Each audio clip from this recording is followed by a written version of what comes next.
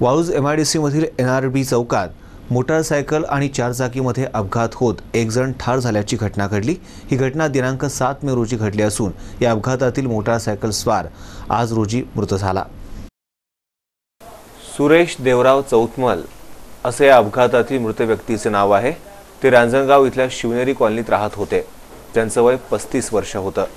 दिनांक सात मे रोजी सायंकाळी चार वाजेच्या सुमारास सुरेश हा एन आर बी चौकातून गुडियर कंपनीकडे जात असताना समोरून येणाऱ्या चारचाकी कारला धडकल्यामुळे तो जखमी झाला. त्याला तात्काळ औरंगाबाद घाटी रुग्णालयात दाखल करण्यात आलं. त्याच्यावर घाटी रुग्णालयातील अपघात विभागात उपचार चालू असताना आज सकाळी सात वाजेच्या सुमारास मृत झाल्याचं डॉक्टरांनी सांगितलं. या घटनेची नोंद M I D C Waluj police ठाण्यात करण्यात आली आहे.